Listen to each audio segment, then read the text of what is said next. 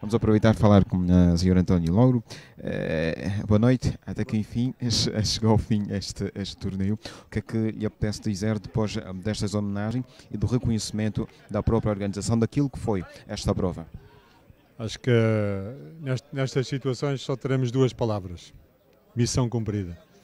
E acho que após esta missão cumprida, acho que há que fazer o balanço que é bastante positivo. Há que aprender com aquilo que correu bem e com aquilo que correu menos bem e, e responder ao desafio que nos é deixado aqui pelos, por todos os profissionais para organizarmos para o próximo ano, porque eles estão já bastante ansiosos de voltar a Angola e voltar a, a competir em Angola. Por isso acho que agora neste momento, já depois de muito cansaço e muita e muito, muita pressão durante estes dias. Acho que só tenho duas palavras: missão cumprida. E obrigado a todos que, aqueles que acreditaram connosco e que possibilitaram uh, este evento. Muito obrigado a todos. Uh, foram feitos muitos elogios às características do, do campo dos Mangais.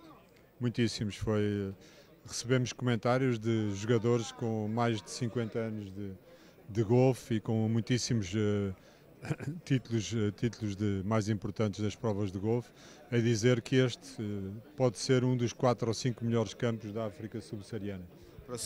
Próximo, ano a mais, qual é a previsão? O mesmo período e o mesmo número de atletas? A previsão para o próximo ano é o mesmo período, o mesmo número de atletas.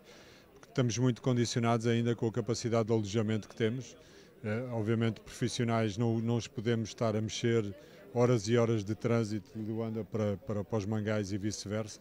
Por isso, enquanto não se avançar definitivamente com o projeto do hotel, eh, vamos ter que ficar limitados a estes jogadores, mas também é uma forma de trazer os melhores não é? e trazer os mais importantes, os, de maior influência, para no fundo competir também com aqui connosco angolanos e também conseguirmos uh, aferir da nossa, da nossa condição, como é, por exemplo, o professor António Sobrinho, que sem já muito anos afastado da, da, competição, mesmo assim consegue estar nos seis primeiros. Por isso, acho que aí também é de parabéns.